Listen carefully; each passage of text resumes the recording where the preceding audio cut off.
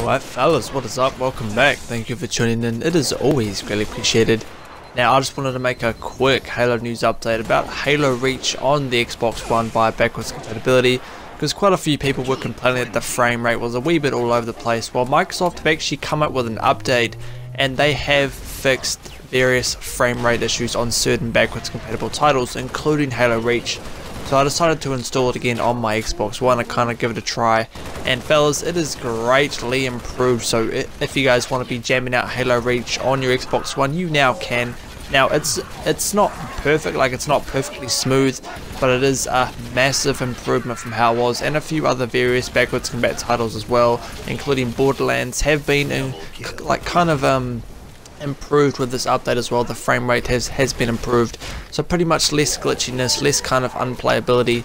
So now these titles are actually playable and that is pretty cool as well. So fellas, I just want to kind of take the time to kind of give you guys this news update because there aren't really other Halo channels out there doing this considering half of them were crying and bitching about how they couldn't play Halo Reach. Now that the update is out and it's actually fixed it, there's no videos about that on certain Halo channels. So I thought it is my duty to come out and inform you guys in case you didn't already know. Halo Reach is now playable on Xbox One smoothly via backwards compatibility.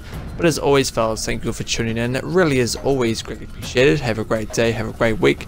Be sure to like me on Facebook and follow me on Twitter and be sure to smash your gamer tag in the comment section down below if you guys want to jam out some Halo Reach, jam out some Firefight on the Xbox One of course with that Elite controller.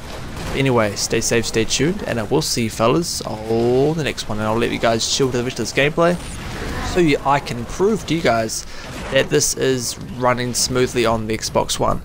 And I'll see you fellas on the next one.